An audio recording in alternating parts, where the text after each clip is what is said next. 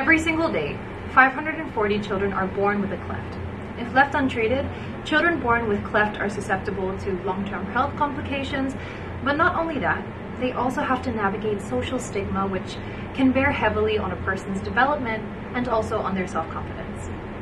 This World Smile Day and National Bullying Prevention Month, I am proud to support Smile Train. You can learn more about how Smile Train is changing and impacting the lives of millions of children globally by following Smile Train on their social media. This World Smile Day and every day, I believe that all smiles are beautiful.